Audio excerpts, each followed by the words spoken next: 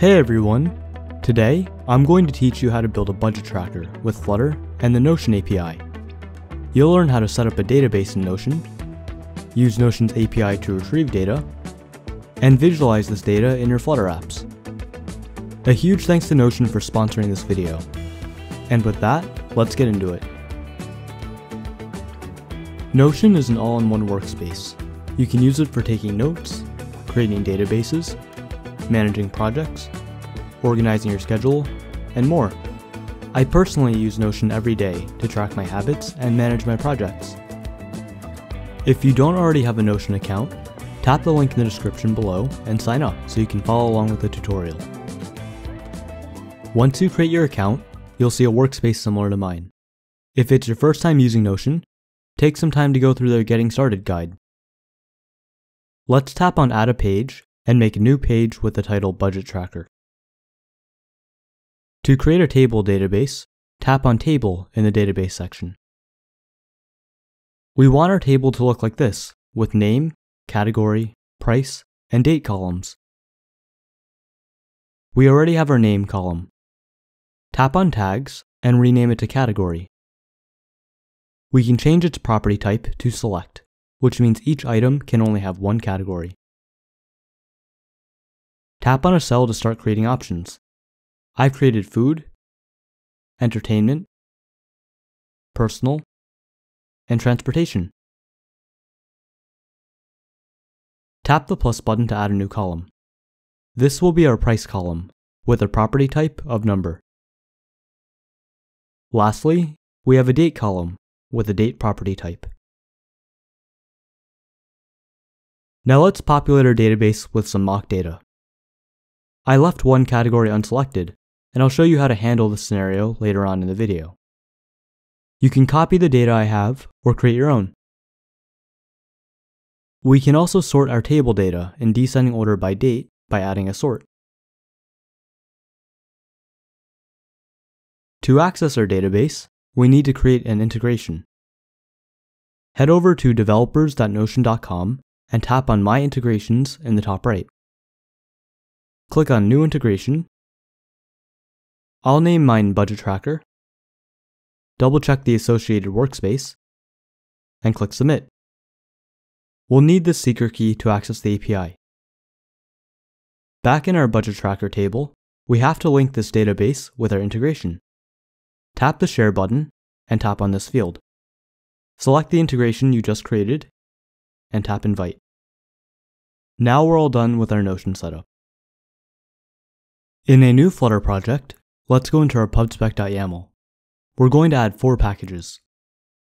flchart to create our spending pie chart, HTTP for making HTTP requests to the Notion API, intl for formatting date times as strings, and flutter.env for loading our environment variables like our API key at runtime. In our root directory, we'll create our .env file, and here we have two environment variables, Notion API key, and Notion database ID. Let's go back into Notion to get these values. The Notion API key is the secret key in our app's integration page. We can grab our Notion database ID by going to our budget tracker and extracting it from the URL. The database ID is the string right after the forward slash and before the question mark. Let's copy both these values and add them to our environment. Now in main.dart, we can load our .env by making our main function asynchronous and awaiting .env.load. In the assets section, we have to specify our .env file, as we want it to be included in our application.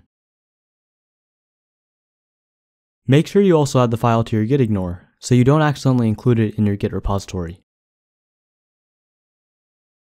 Let's change the title of our app, hide the debug banner, set our primary color to colors.white, and set our home to budget screen. We'll define budget screen as a stateful widget below and return a scaffold. Before we work on any UI, let's define our item model. This will be our app's representation of an item from Notion. Each item has a name, category, price, and date, where price is a double and date is of type datetime. All of the constructor parameters are required. Now let's make a file called budget repository, where we'll interact with the Notion API using the HTTP package. At the top of the file, import .env, HTTP, and our item model. For testing purposes, our repository takes in an HTTP client and creates a client by default if no client is passed in.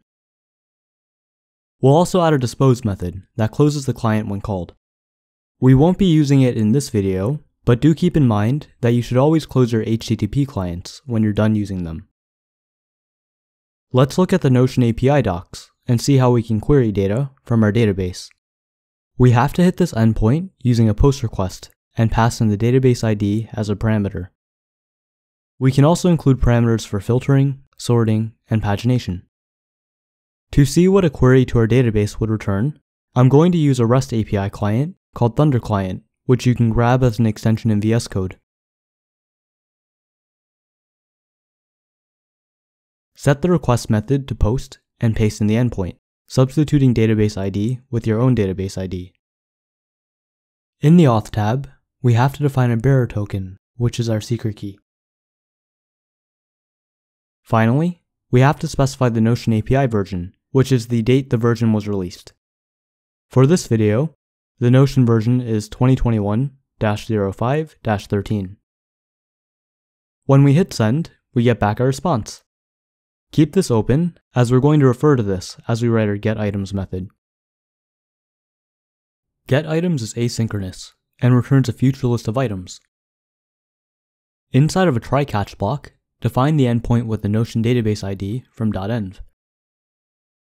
We can define base URL as a private variable at the top of the file.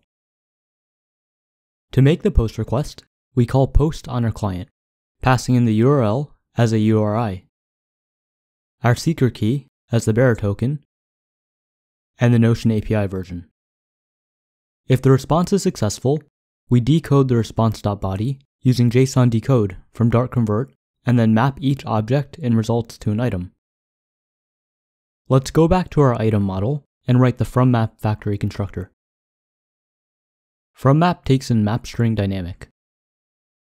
To figure out how to parse the data, we can look at the HTTP response again.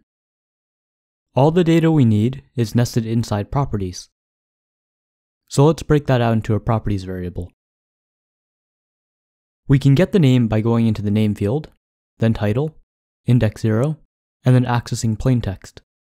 Note how I have question marks to make sure that if a field we access does not exist, the left side evaluates to null, and then the null check returns a question mark. This is important because we don't want any errors if a field does not exist. Category is inside category, select, and then name. Price is inside price and number and date is inside date, date, start. However, we want to convert this into a datetime object. Let's define this as a date string. If date string is not null, we parse the string into a datetime. Otherwise, we return datetime.now. And that's all we have to do to convert a map into an item.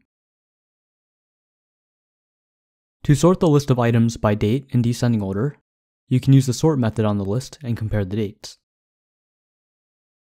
If the response is not successful, we throw a custom failure with the message, something went wrong.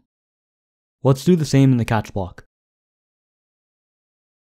In a new file called failure model, we define a string message and a constructor. Remember to import this file in the budget repository. Now that we have a functioning budget repository, we can display our items from Notion in our app. Add a late private variable called future items, and we'll fetch the items inside an init state. Scaffold has an app bar with the title Budget Tracker. The body is a future builder with future items as the future. If the snapshot has data, we want to show the pie chart and list tiles. If there is an error, we cast snapshot.error to a failure and display error message text. Otherwise, we show a loading spinner. To display the list tiles, we get our list of items from snapshot.data and return a list view builder with item count items.length. For each item, we return a container with a border radius and a box shadow. To set the color of the border, we'll call a function called getCategoryColor, which we'll define outside of our budget screen state, as we'll access this in other files. We return a different color based on the category string that is passed into the function. The child of the container is a list tile that displays the item name as the title. The subtitle has the category and uses the intl package to format the datetime as a string. And trailing is the price of the item with a minus and dollar sign. All of our items appear in the list. For the spending chart, make a new file called spending chart with a stateless widget that takes in a list of items. In main.dart, we increment our item count by 1. If the index is 0, we return the spending chart widget. Because we incremented item count by 1, don't forget to add minus 1 when getting an individual item from the items list. In order to display the different categories and the corresponding values, we have to create a spending map. Iterate over items and sum the item prices for each category. Now our spending map is populated with data. Return a card widget with elevation and a rounded rectangle border. The child is a container with height 360.0, and the child is a pie chart from FLChart. Here we map the spending map into a list of pie chart section data, passing in the color, radius, title, and value. Now this looks great, but it's hard to tell what each color represents. To add label indicators, wrap the pie chart in an expanded widget and wrap the expanded widget in a column. Add a SizedBox for padding, and then use a wrap widget to display the indicators. We can map the keys of the spending map to a private indicator widget, passing in the color and text. Indicator is a stateless widget with color and text that returns a row with main axis size set to min. Then we display a container with the specified color and text widget with the category name. Save that, and our labels appear. The final feature we have to add is a way to refresh our data. Wrap the future builder in a refresh indicator. Inside onRefresh, we assign future items to the new batch of items and call setState to rebuild our UI. Now if I add a new expense to our Notion database, and then pull down to refresh, the change is reflected immediately. When we remove the expense, it disappears from our app. And now we're all done with our budget tracker using the Notion API. I hope you learned a lot, and I can't wait to see what you build with their API. If you enjoyed the video, remember to leave a like and subscribe. For complete Flutter courses, check out my website, launchclub.io. Thanks for watching, and I'll see you in the next one.